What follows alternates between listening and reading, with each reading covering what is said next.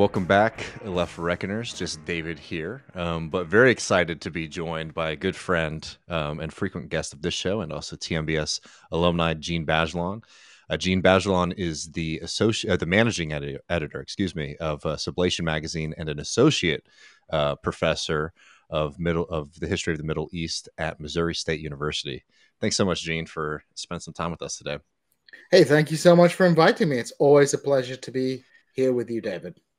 Well, um, I wanted to talk a little bit about uh, the new project um, at Sublation because I think it's filling an interesting hole in the U.S. left. But before we get there, um, I know this is a broad question, so take it, you know, however uh, you'd like. But I think it, it might be useful to sort of get your perspective on the state of, you know, the American left and also maybe a little bit the general like English speaking world uh, left right now. Where are you finding that we are, what you're finding that we're missing, and maybe what you're finding maybe a little bit inspiring or looking forward to? Sure. So, you know, I should probably begin by saying, and I think this is pretty important to highlight that I don't have any specific answers for anything.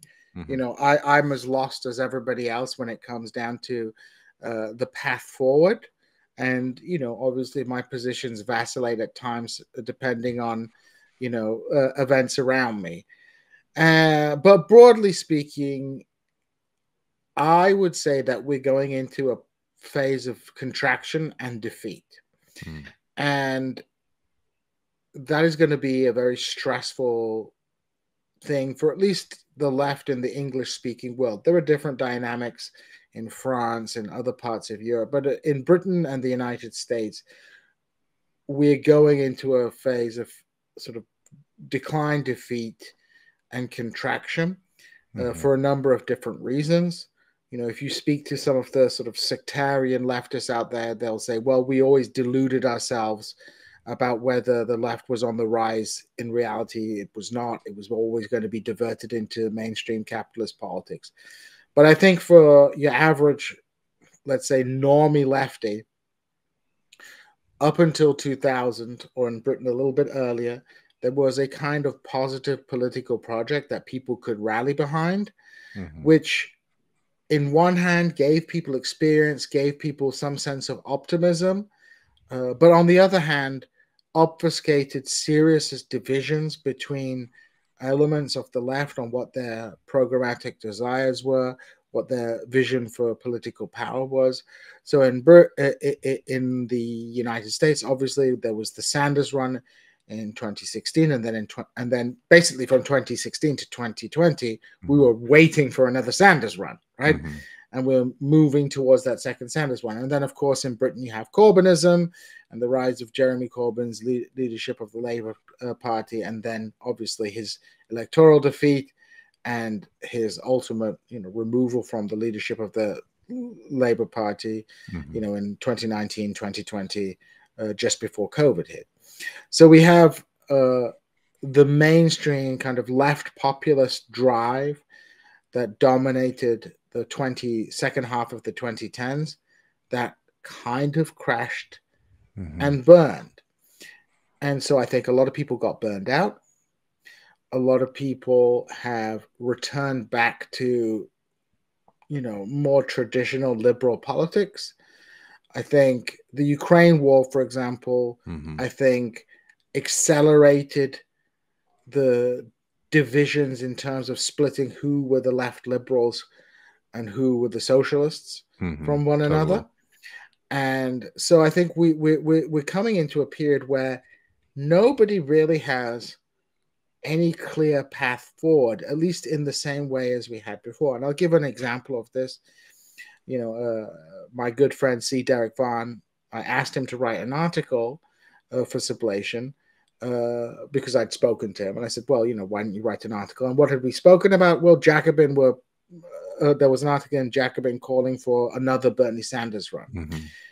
And with all due respect to the author and to Jacobin magazine, I think that is a sign of we're out of ideas. If if our like game plan for 2024 is we'll we'll run a like 82 year old Bernie Sanders, then we have serious problems. And all the arguments um, that people put forward um, to say that we should run uh, Bernie Sanders, for example, well, who else would you run? Uh, they all expose the fundamental weaknesses of our movement because if we're placing our hopes in an 82 year old man, I think we need to be thinking about what exactly the direction of our movement is. Uh, on the flip side, I think although it can be exaggerated, I think some there is some evidence that there is increased labor militancy, at mm-hmm. least in some places. I think that can be overstated because of course this comes on on the heels of a heavy blow for organized labor. But i think we have seen some militancy in britain. We're having a railway strike and the railway workers are very you know powerful. Uh, but i do think you know people are beginning to think that oh maybe instead of engaging in left populist electoral politics perhaps we should be engaging in you know union organizing and mm-hmm. and, and building that kind of power. I think that might be a positive step or a positive direction. But I think in general, everybody, including myself, is confused because when someone says to me, "Well, what else could we do other than uh, run Bernie Sanders?" It's like, well, you know, I don't really know to be honest. Like, but I just don't think Bernie running Bernie Sanders is necessarily a great idea. Well, I mean, I'm curious what you think about this because we've done some stuff on on 24. We had Ben on, and you know, my position I think is a little bit in between, in the sense that like Bernie 24, I'm getting my shirt out of the closet and knocking on doors and telling everybody to do it again. Um, just if like if that's what we're doing, like I'm all about you know going going another round. But I do think that um, one of the the issues here, and it's not even just about Bernie's particular viability, right? It's that because in the U.S. left so much of the mobilization and recruitment that happened was around the context of a presidential campaign I think that that sort of um, has created like a, a, strategic deficit. I think in the way that a lot of people in the U.S. left, at least, like think about politics, right? Where like you know, power and victory is ultimately having the presidential candidate who's you know maybe one day even comes into office. Where even Bernie Sanders himself was always making this argument that like you know, if I come into power, we're going to need to have serious left mobilization out on the streets and in, in you know, in Congress and local level, all that kind of stuff. Like we have to be able to build a movement to be able to force these things through because you know the the, the presidency is a very powerful office, but as we've seen, like it, there actually are a lot of structural limitations on it, and I think that there's been a lack of theory, like theorizing and understanding of, amongst like the general membership of like the U.S. left at least. Um, about what it actually would take to implement the things that we want right and i think that like the fixation on the presidency itself um, you know, sort of reveals like a lack of of, of thinking um, on, on that question. I think it's. I think yes, I, I, I agree with all those points, but I think also there is. It's not simply that running Bernie Sanders would be a harmless, ineffectual, you know, gesture. My fear is twofold. Firstly, given the fact that it's highly likely it would be a third unsuccessful try, it would be a, a demoralizer. Yeah. It would be demoralizing, and I think a lot of people would be. A, it could lead to more cynicism. Uh, it perpetuates a reliance on Bernie Sanders when we actually need to be not relying mm. on Bernie Sanders. And uh, thirdly, you know, people have limited bandwidth. One of the strongest arguments, Adolph Reed made this argument, is that look, the point is like Sanders may not win, but it's going to boot kickstart organizing, you know. Mm-hmm. And I think it's going to, you know, spread the word of socialism. It's going to like build up our forces. And I think there, especially in 2016, I think there was a strong argument for this. But we've seen since 2020, mm-hmm. Sanders has, you know, been incorporated into the Democratic Party which is now extremely unpopular. Uh, and he's not in the same outsider position that he once was. Hmm. And this isn't really even a criticism of Bernie Sanders. I think like he did what he had to do, uh, you mm-hmm. know, the, or at least he did what was logical for him to do in his position to try and you know do some good from the you know chairman of the budget committee uh, uh, position. So in a certain way, he's kind of compromised with the the unpopularity of the Democratic Party as well. and it would be better perhaps for the left to run a young, un, you know, if we're talking electoral politics, a young candidate who we may know is definitely going to lose, but who can run several times mm-hmm. in, in the future if we think, if we believe that these election campaigns are the right time to organize. Another argument could be maybe we need to reassess our strategy in its entirety and where we need to be deploying our limited time and energy. So, like, and another thing, just sticking to the presidential thing as as a pro here. I mean, again, like, I, I I don't mean to sound cowardly, but I do have this sort of in between position where it's just like, fine if we all know what we're getting into, right? Um, but one thing that does worry me, for example, of a Bernie absence and a candidate like you're talking about, um, is who is going to try to pick up this mantle? And I think this gets to another big problem in the U.S. left right now, um, which is that you know there hasn't been a lot of working out on the difference between a progressive and socialist politics, and I think that a lot of the growing pains and stuff that we're seeing right now come out of that. And I mean, I, am very worried, for example, of like somebody who I think is very dangerous, like a Ro Khanna, um, coming in and trying to pick up the mantle of, of the Bernie movement in, you know, a 2024 moment or a Jayapal, right? Who I just think, you know, yeah, you know, they support Medicare for all, but who knows how deep, you know, that feeling even goes in the first place. And two, they don't have a sustained criticism of, of capitalism as, as a system. They're going back to that. We need to go back to, you know, fair capitalism, progressive capitalism, which I think is a very dangerous um, way for all of this energy and mobilization that we've seen as limited as it is like that's a you know you're walking off a cliff at that point. That that growth will stagnate really quickly. Um so if bernie d- gets in if effectively just to block a coalescing of some uh, of of the the people who are sort of in the middle between like socialism and like that kind of progressivism if he can block them going that that way i think that that would be helpful. But again i mean I think that the at the end of the day, one of the points um, that we make on the show a lot is uh, moving from a politics that's class focused to class rooted, mm-hmm. and you know, borrowing the term from Leo Panitch and um, and Gindin, right? That like right now you have a left in this country that I I think sometimes people overstate um, the kind of I don't know, PMC character of a lot of the left socialist movements. I don't think that that's not there, but I think that people really fixate on it because lefties love to, you know, put themselves up on the wall and you know apologize for for what they're doing in them for themselves. Um, but uh, yeah, I think that like we really need to be focusing on like rooting ourselves in a class versus just a movement that's like, oh, we're going to talk uh, about workers, right? Um, it needs to be of them. Well, I, I well, I think I want to pick up on something you said, which I think is really mm-hmm. important, uh, which is about this overemphasis on the PMC inverted commas characteristic of the uh, uh, left. I think certainly disproportionately you have credentialed people in the left, people with university credentials.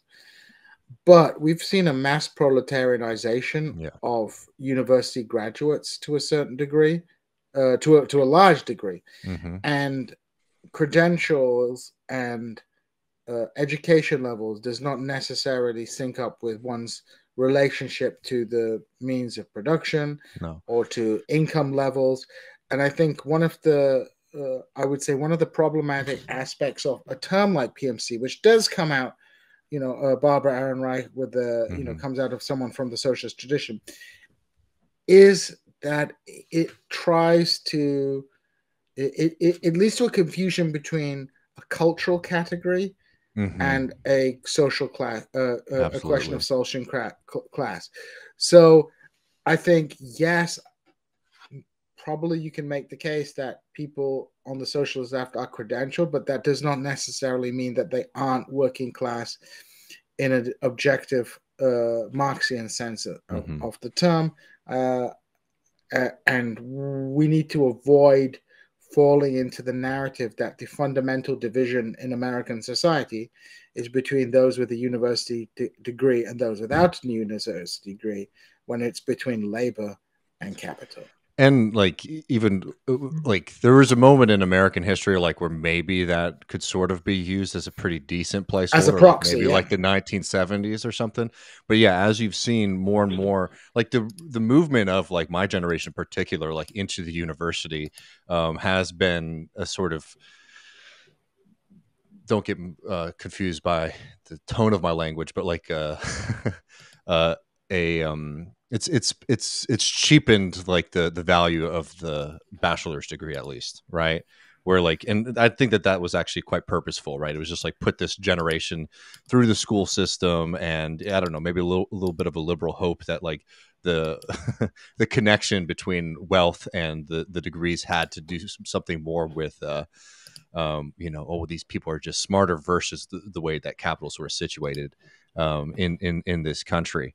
Yeah, I mean, it's it's it's a weird moment because I, I totally agree with like the fracturing and the contraction um, as as a way to describe the moment that we're in. But I also have seen people become a lot sharper, just in the sense that like you know, early Bernie Sanders DSA versus like DSA today, I think a lot of the kind of importation into of like liberal identity politics and things like that that were a little bit more dominant in DSA politics in the early early days post Bernie. Um, a lot of those have been challenged, so I do think that people are a little bit are a lot more, frankly, um, strategic within those movements right now.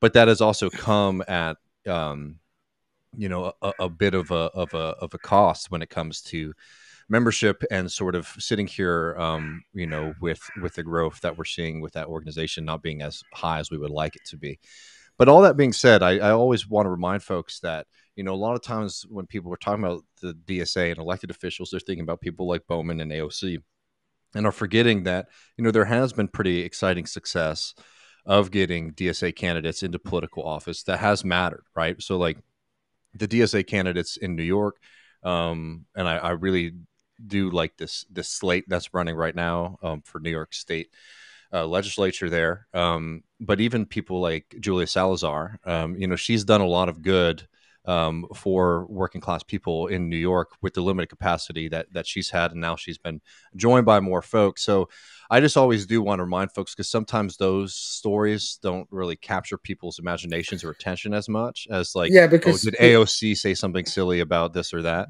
Um, but like I'm saying, like it's not all been negative in the sense that oh de- decline right there's actually mm-hmm. has been an increase in people in those kind of smaller more localized offices mm-hmm. who are delivering um, and it's not saying it's absolutely perfect right now, but like these are some things that we're seeing that it's not all just like one steep decline from you know the Bernie defeats in these primaries. Um, there actually has been a commitment in some areas and, and victories as well. And I do think I think uh, well, this is one of the arguments I would say against having a Bernie run is that I think that people are a lot sharper than they were. I think people may have come to political consciousness during the Obama campaign in 08 or in 2012. They may have been hopeful for Obama, uh, mm-hmm. uh, but I think the left has become sharper, as you say. Mm-hmm. And I don't think that platitudes from a Ro Khanna or from a, a Camilla Jayapal are going to be easy as you know it's not going to be as easy for them as they might think it is mm-hmm. for them to take a, a, a, a sanders mantle uh, and just automatically rally the left behind them and mm-hmm. i think we need to throw off the bernie training wheels and we need to move beyond what that movement was i'm not one of those people who's just like oh, it was all just a mirage. It was a all trick, pointless. Yeah. It was all it was all bollocks. It was all a waste of time.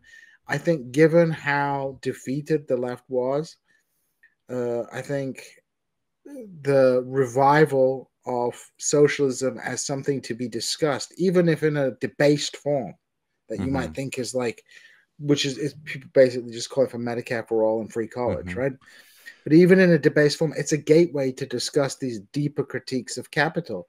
And the sectarians might sit there and say, well, it was always going to fail. It's like, but you guys have been there since mm-hmm. like forever, and you've not managed to do make any inroads.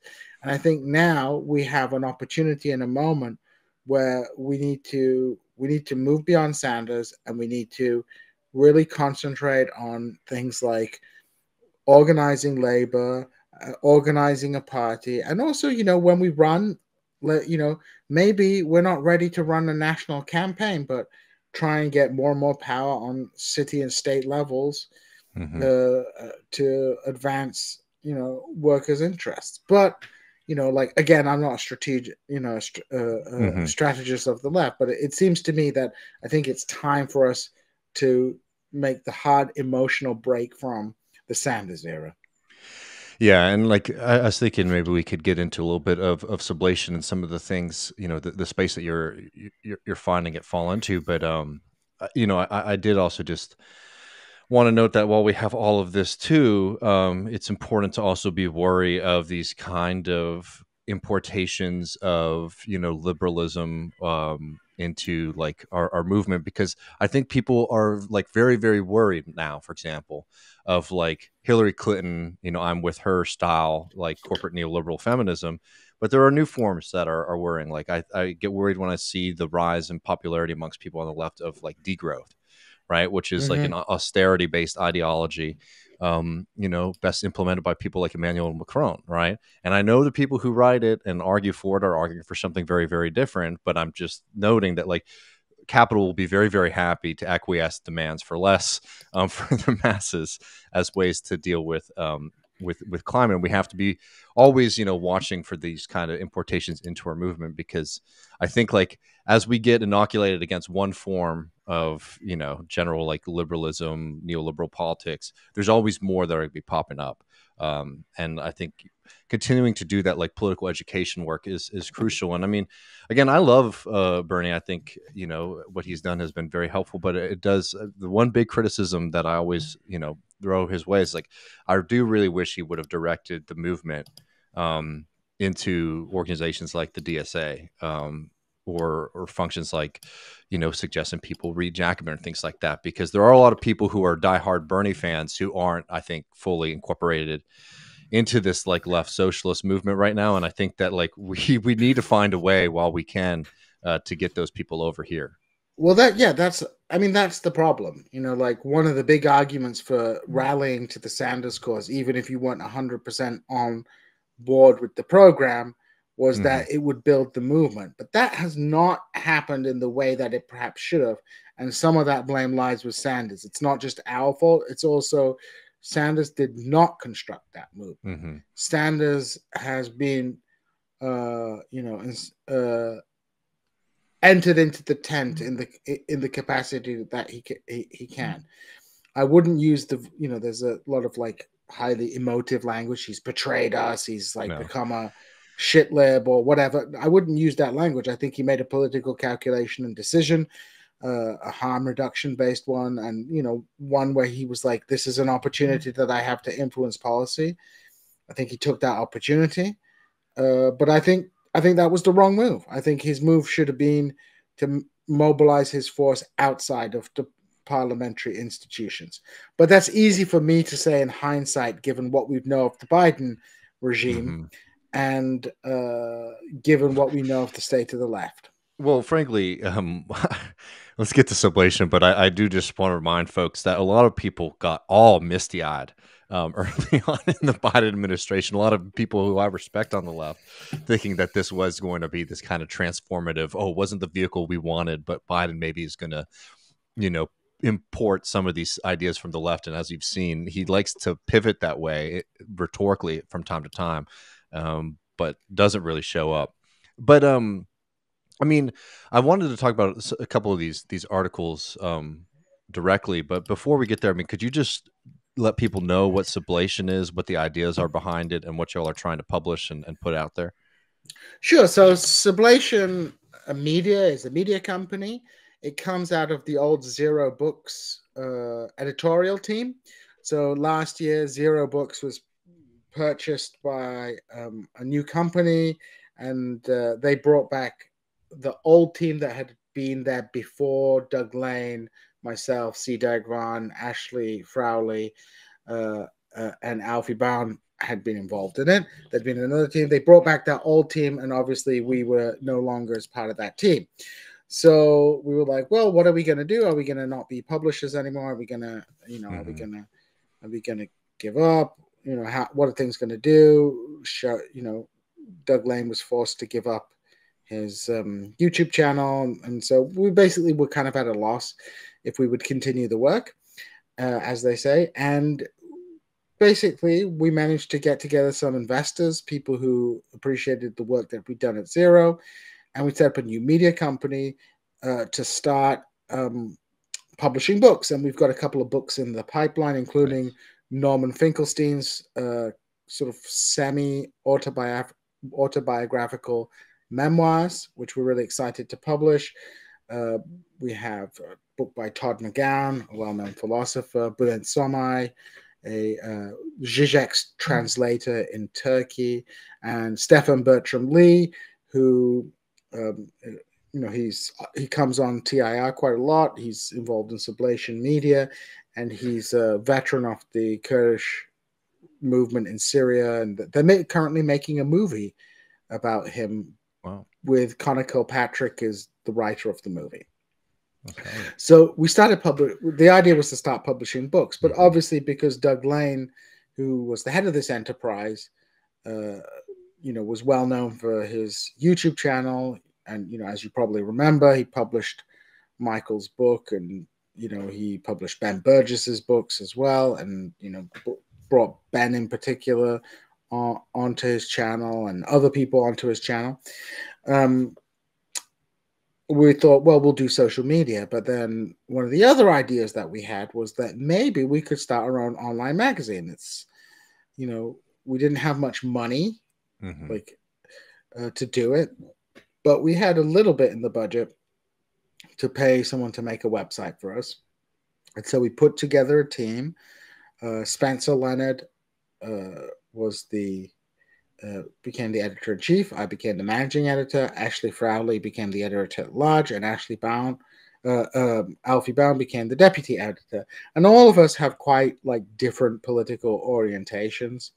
So I would say, kind of, um, Spencer is definitely more of a kind of uh, hardline Leninist, if you were, mm-hmm. if you were whereas Ashley is very much like I believe the purest Marxist that you can find because like she always reads Marx like uh, in very like very detailed and concentrated way.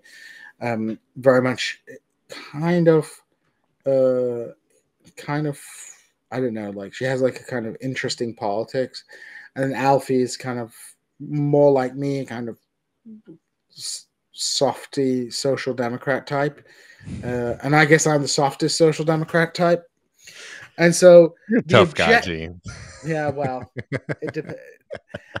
but the objective was the reason the, the objective was to have a magazine in which various tendencies of the left could write, could be heard, and could be di- in dialogue with each other. Mm-hmm. Our objective was not to publish things that we agreed with.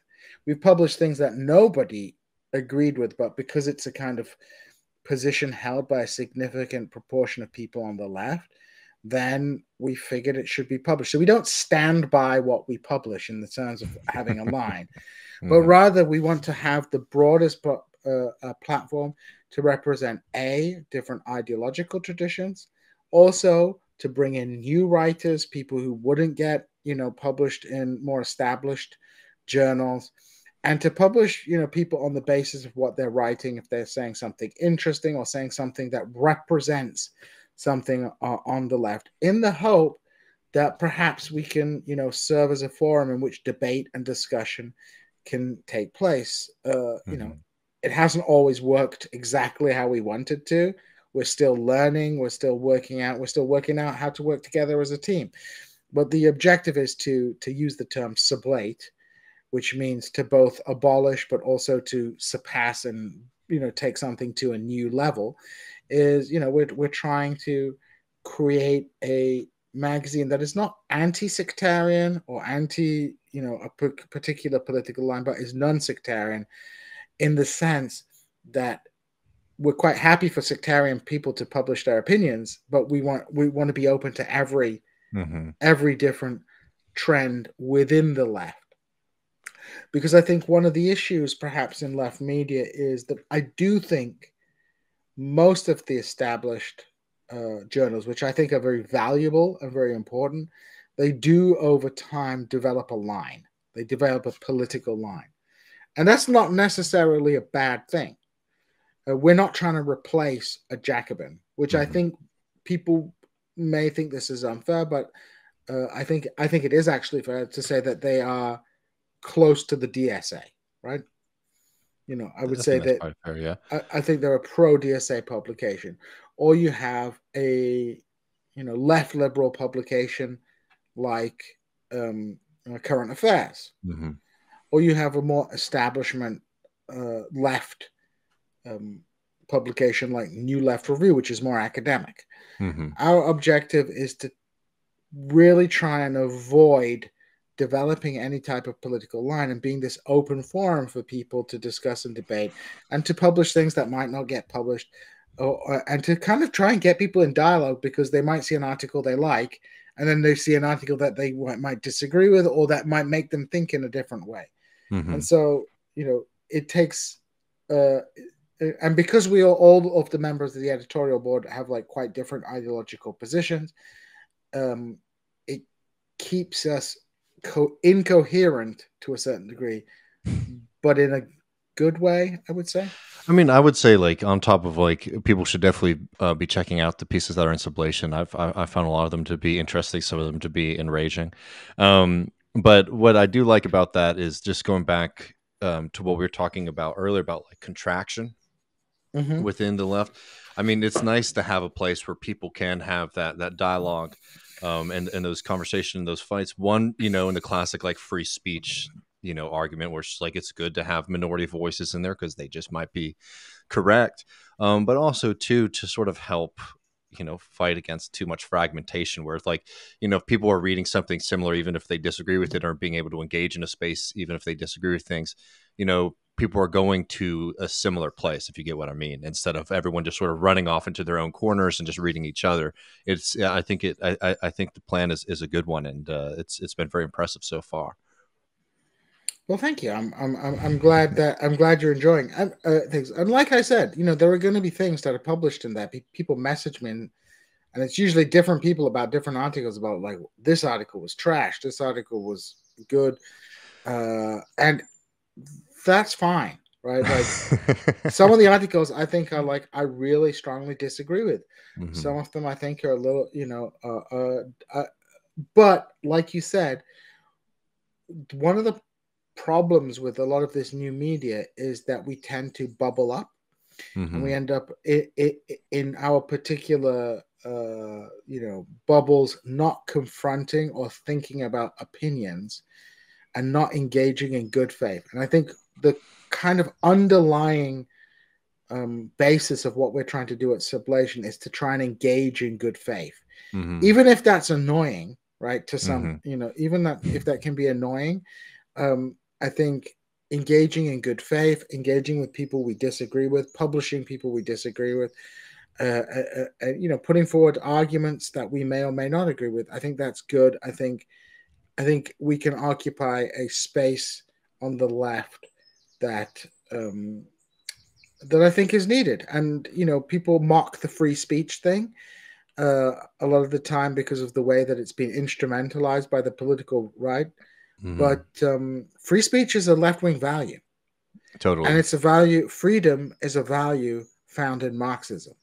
You know, Marxism oh, yeah. going on doesn't go on about equality all the time. It goes on about freedom and mm-hmm. human emancipation.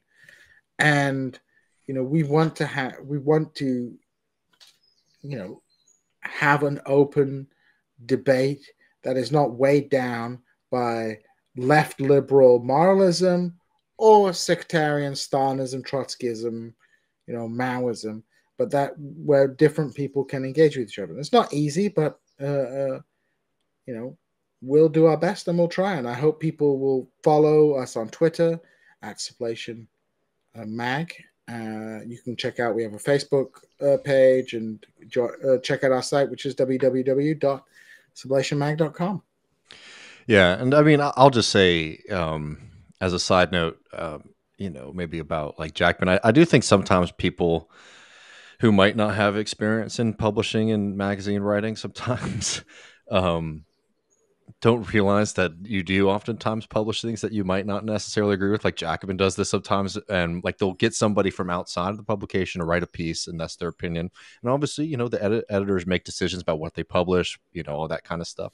But it is always funny when people like put like the weight of the entire publication behind like one piece. One. But that's a whole. Well, that's pe- just like that's just like a media literacy people, thing that I think sometimes on the left are bad at.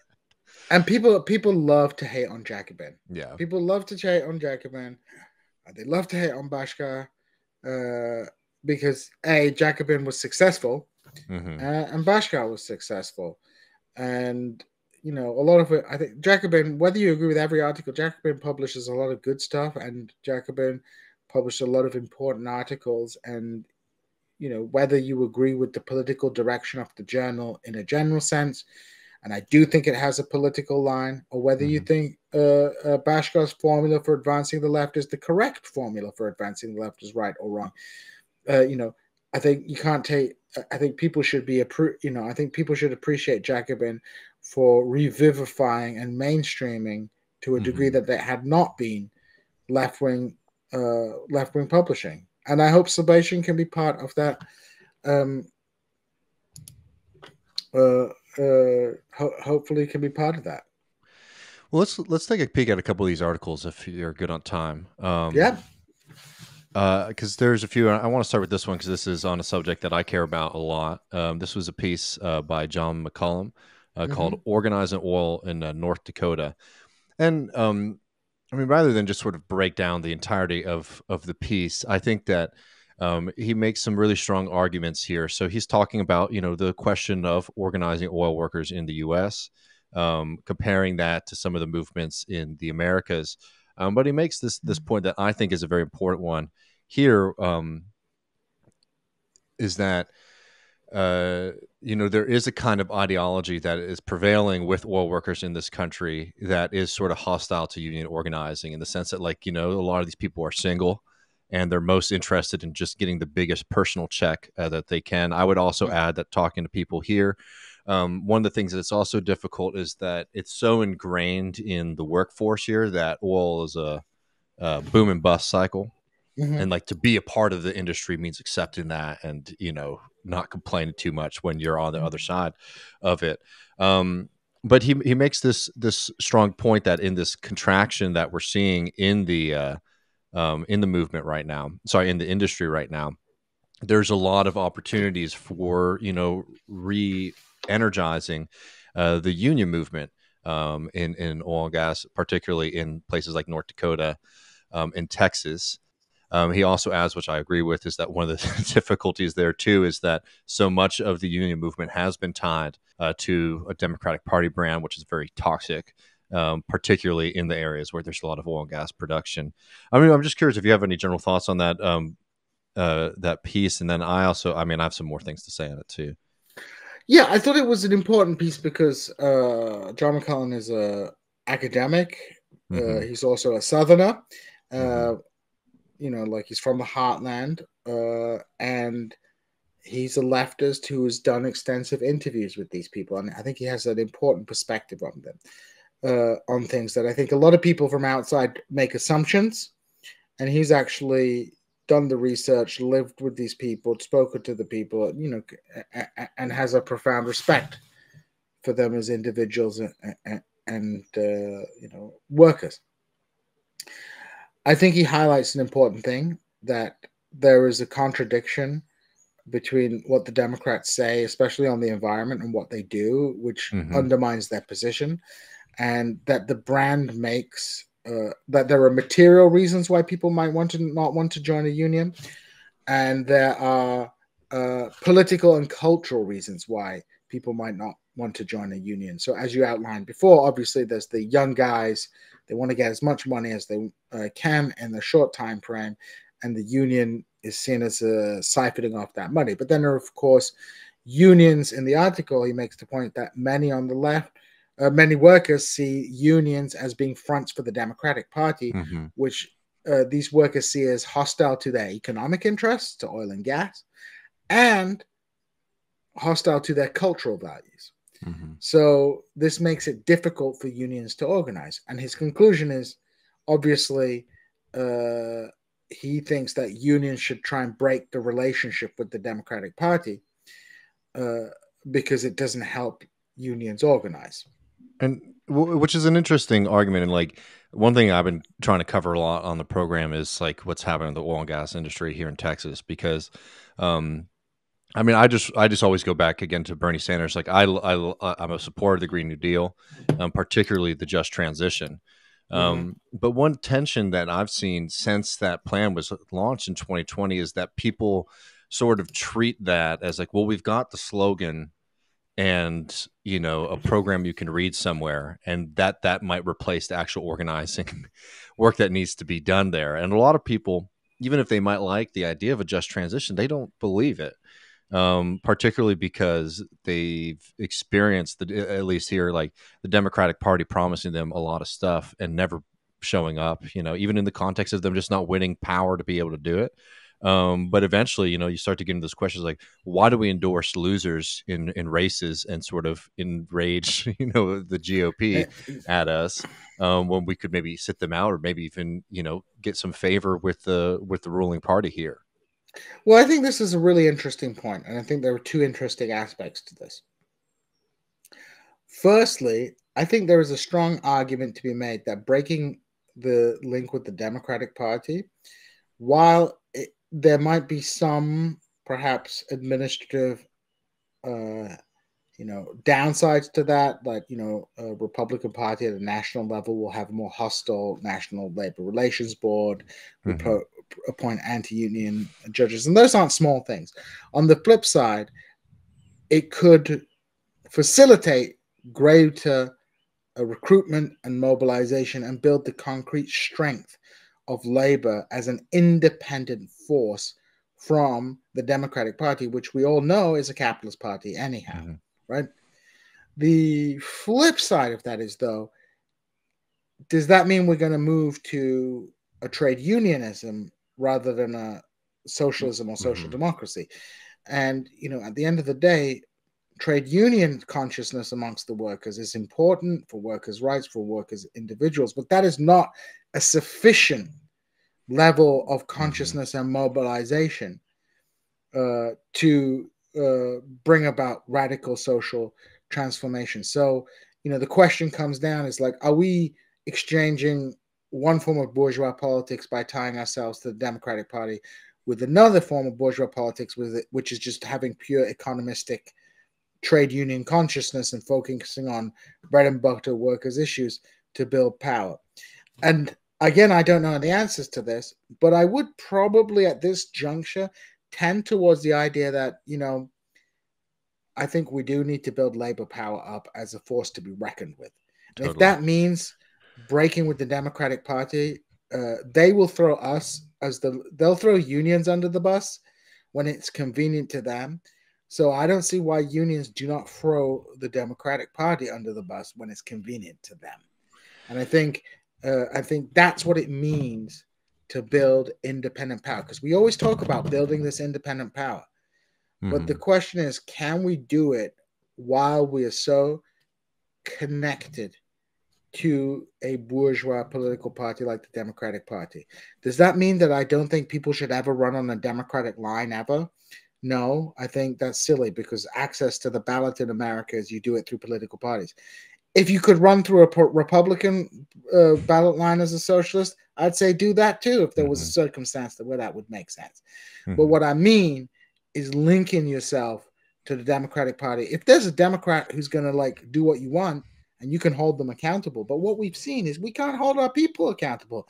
Mm-hmm. Vaughn points this out in his article that he published with Sublation. It's like Jamal Bowman showed us that we don't have a whip to whip down on those of our representatives who disobey the will of our party because we don't have a freaking party. DSA isn't a party, right? That's the fundamental problem. And it's and like in in that ten in in that example like there's there's a tension because like the problem that comes with bowman is a problem actually of of a bit of success right where like the organization c- comes and then you get people into powerful offices with national profiles um, and then this organization isn't always the one whose phone calls are getting picked up first um, mm-hmm. because you know you've shot people off into you know a political stratosphere that you know the interests that are coming to them oftentimes are more organized and more powerful. I will say in um, in DSA's uh, you know defense that that Bowman um, chapter really did uh, create an internal urgency to start to find ways um, to sort of force these organizations, the, sorry, membership and elected officials uh, to have like that stronger uh, relationship. And I know, for example, you know, Bowman has sort of been let has been let known that like if he doesn't reform his position on Israel Palestine, he won't be getting um, any more help or endorsements from the organization. Right? Not perfect, but I'm just saying that like it's not as if these criticisms are unknown within within the organization itself. But beyond that, like you know, one of the things like here in Texas is like there is a protracted anti-union movement um, within the oil and gas industry, and it's been led by like ExxonMobil, for example, which locked out um, you know USW uh, workers for about ten months to try to preempt a strike, and they they have a strategy right now in the oil and gas industry is using the moment of, of COVID where people did see threats, where they did see cuts, as an argument for like we need to turn this into a lean um, machine, basically, and you need to get rid of your union representation if you want to maintain having a job. Of course, it's a devil's bargain, but I know for people who care about union movements um, here and elsewhere, like these fights are happening. And sometimes I do see people on the left being actually very squeamish, apart from saying they support a just transition, to actually showing up in support for people um, who work in, in that industry in general, right? Where I think right now, especially if you care about policies like the Green New Deal, uh, climate change, like those are things we can't afford any losses, and we actually need to be seeing extreme growth to be able to build up the capacity to be able to challenge big, powerful corporations like ExxonMobil. And without a union movement, then it's just activists outside hoping that the Democratic Party will come up with a different tax breaks, um, you know, scheme, right. uh, you know, to encourage more solar and wind or whatever. Yeah, I mean, I think I think you know that's that's the fundamental problem is that you know we are we've just you know after five years, six years of thinking we're gaining strength, mm-hmm. we've realized that how powerless we are to affect the political agenda, and it's extremely frustrating for people. No it's extremely frustrating, especially as things like the climate crisis uh, uh, marches on. And I think you're right. That's why people default to things like degrowth, right? Mm-hmm. That's why people uh, default. On one hand, they go to degrowth. On the other hand, they end up, you know, saying like, well, maybe if we have like a carbon trading and, uh, you know, yeah, solar panel, individual solar panel things, that will that will solve the problems. When it will. I need to be the center of attention for a second. no problem. um, no, no, I think that that's that's uh, very much on point. And like, yeah, I mean, these are the tensions and, and the fights, and I think particularly in trying to win because I don't know, uh, maybe this is just hopeful. Maybe this is just like a little bit of nationalism that I have. I have, but I've always felt that like one of the, the areas where we can do the most growth, the quickest, are actually in places like Texas, in places like the Dakotas, in places like the South, where like the Democratic Party brand is just so weak that the ability to build up organizations um, that stand up for workers um, like the opportunity is there because no one's filling in that gap. Like look at Alabama, for example, where you know the the, the coal miners at Warrior Met have been on strike for over a year now, and they've been supporting themselves through incredible amounts of solidarity, and they're highly activated on this. Democratic Party completely silent on this horrible um, moment where this uh, you know uh, where Warrior Met is basically trying to shut out these people who've built up um, this organization and create immense amounts of value. But even the Republican Party um, doesn't show up, and it's not surprising because the Republican Party is very much a party of capital, but they have a, a, a, very compelling story, right? Where Warrior Met was bought out by New York City Capital. Yeah, yeah, you yeah, know, yeah. and they're just like taking money from good old Alabama workers, right? And they're not showing up. The Democratic Party's not showing up, and obviously, I think a lot of people in those movements, like our friends at Valley Labor Report, see that there's an opening there, um, but uh, you know, th- these are openings that we could really be taking advantage of. And what we have to yeah. be doing is building up the capacity to be able to fill in those gaps. But I think you could do that work actually quite quickly versus like some kind of like evolutionary like leftists who think that like basically in the South what we need to do is to create two generations of Democratic Party liberalism before we can start putting socialism on the ballot there. Oh my you know? god, which I That's... hate as an argument. Um, we, I actually think that we have a streamlined opportunity in a lot of those places to build up r- rather quickly. That's like a very degenerated form of like stagist, uh, you know, like Stalinized Menshevik Marxism. yeah. So um, yeah, I mean, like, I think I think there are there are I think there are opportunities. The question is, can we see can the left uh, reconstitute itself in a meaningful way and seize those opportunities? That's why I mean DSA has grown a lot, but it is a club, right? It's not a it's not a party, right? There's a huge disconnect between the national leadership and its orientation and like regional branches which op- operate in very different ways from mm-hmm. one another that have very different ideological orientations so we don't have a strong disciplined movement we we um, we can't intervene with workers we can't bring socialist consciousness to workers from without because we don't have the capacity or means to do it because even we don't know what we mean when we mm-hmm. say socialism. What are we asking for? Yeah. And those that's not I'm not trying to be a Debbie Downer on things. I'm just saying these are things that we should think about. That's what's in front of us. Yeah, that's what's in front of us. And it's okay to be worried about that. And uh, but it's also, you know, try and be optimistic and think these are problems that we can overcome and we can work out.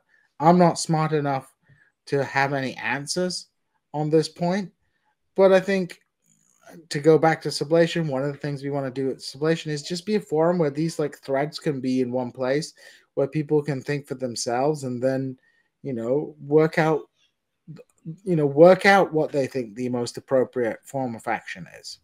Totally. Um well, let me just uh, I'm just going to do a quick uh, run through of folks of some suggestions of pieces that you know they should be reading. This is an excellent piece by Dwayne Monroe, who is, uh, by the way, a phenomenal Twitter follow and just all around uh, interesting and good guy.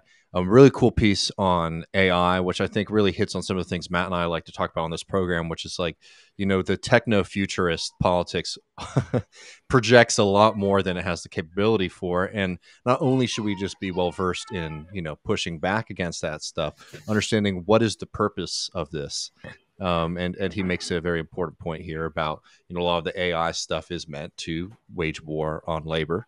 Um, it's a really phenomenal piece there. And uh, we also have this piece, which I, I think we would honestly, if we wanted to get into it properly, would have to do a whole episode on it. But this is a phenomenal piece um, that was put out uh, by Sublation 2, a Russian Marxist perspective on current affairs. Um, it was put together by the 99 Zu Eins uh, podcast. Forgive my uh, American pronunciation if I'm insulting our German friends there, but uh, they they do a really interesting uh, interview here with like Russian Marxists about the current state of politics in Russia, class composition in Russia. Some really phenomenal analysis of the Ukraine Russia conflict that I think has been sort of missing. And as I was saying to Djene before the show uh, went up, it was one of those pieces that was probably going to piss a lot of people off both like the super rah rah pro Ukraine people and also this kind of weird movement in this country that treats Putin as if he's this like great defender of the Soviet legacy. yeah, I think this I think this one is one of the most important pieces we've published because it's a Russian Marxist perspective on mm-hmm. things, and I think I think people should read it, uh, whether you agree with everything in it or not. The point uh, the point is that it's definitely contradicts both the leb- left liberal and the Stalinist uh, mm-hmm. anti slash anti imperialist uh, narratives about the Russia Ukraine war, and you know has a very nuanced and important a- analysis. Yeah, and as uh, do most things in Sublation, and people can uh, find that at Sublation. And you've Mag. been in Sublation. I have, man. I really love writing that piece. I wrote about Greg Abbott and how he's been using COVID nineteen to gain tremendous amounts of power, and I hope to be able to write for y'all again sometime in the future. We'll see uh, what comes across the desk.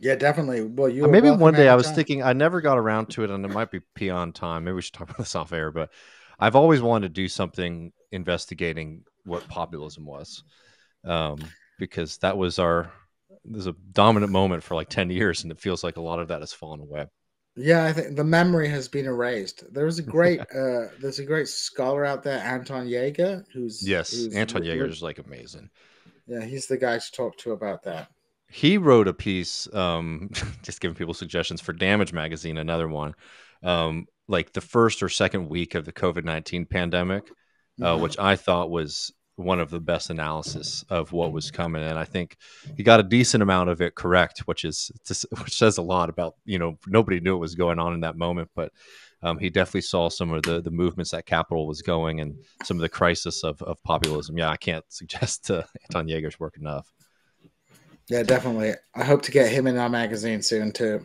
Oh, that'd be amazing. Well, everybody, it's Djene Bajalan. You know him from This Is Revolution podcast. If you're lucky enough to go to Missouri State University, try to sit in a class with him, um, and also managing editor at Sublation Magazine. Man, it's always great to have you on the program. hey it's great to speak to you david it's been wonderful and really enjoyable and uh i hope we can do this again soon sometime Absolutely. Let's make a habit of it.